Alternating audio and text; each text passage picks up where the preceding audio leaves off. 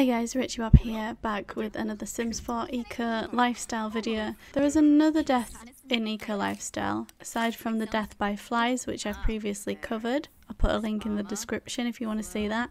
There's also death by Beetlejuice.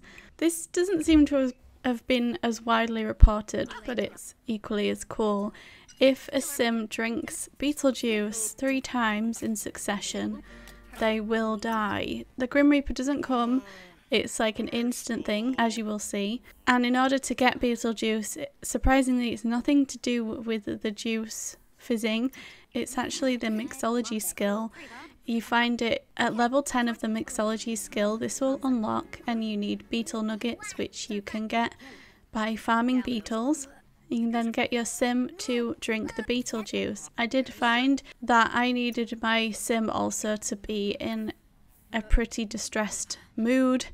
It didn't work on my other sim who was constantly happy and I think this might have been a deciding factor but I'm not sure. So it's not a fail safe that they definitely will die if they drink this three times but it is something that needs to happen. So enjoy the death you weirdo and I'll see you again soon. Bye.